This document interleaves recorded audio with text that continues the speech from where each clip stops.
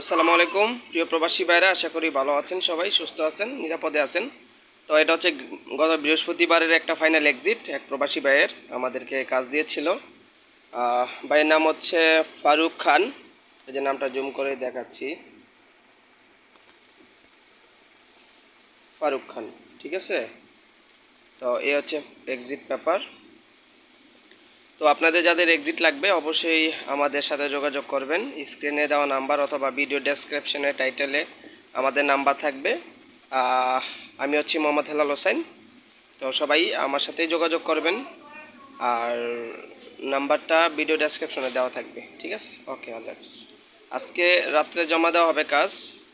আজকে হচ্ছে শনিবার। আজকে রাত্রে কাজ জমা দেওয়া হবে, আগামীকাল আবার এক্সিট আসবে।